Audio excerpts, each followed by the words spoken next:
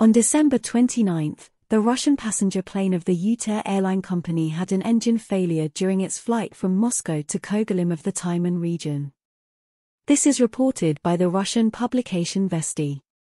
Details It is reported that two hours after departure from Vnukovo Airport, the commander of the Boeing 737-500 announced an emergency signal and informed controllers about the failure of the right engine. In view of this, the plane made an emergency landing in Surgut. It is reported that the landing was successful, passengers are going to be transported by ground transport.